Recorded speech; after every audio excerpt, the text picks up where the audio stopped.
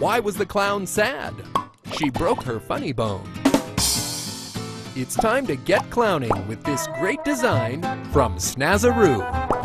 Check it out! With high quality materials perfect for clowning, or the clown in all of us. Need more reasons to shop with us? With the largest selection of clown supplies, expert clown assistants and guides, we help you make people smile. So clown around with us at Clown Antics.